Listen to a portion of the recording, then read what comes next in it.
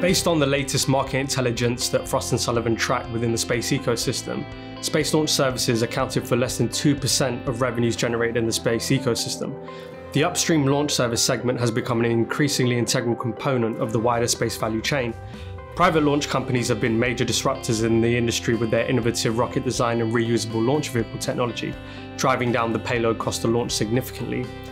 Driven by increasing satellite demands such as communication, Earth observation, and positioning, navigation, and timing solutions, the reduced payload cost has permitted entry of new and innovative downstream commercial service providers, contributing to growth of the overall value chain and increased healthy market competition. A recent study conducted by the Frost & Sullivan space experts found commercial satellites were the majority end-user application, growing from 51% of all satellites in 2017 to 95% in 2022. Through the space expertise that we leverage, including from an exclusively maintained database of more than 6,000 industry players to bespoke growth generator dashboards covering space intelligence for clients, the Aerospace and Defence team is here to guide you on your space growth journey.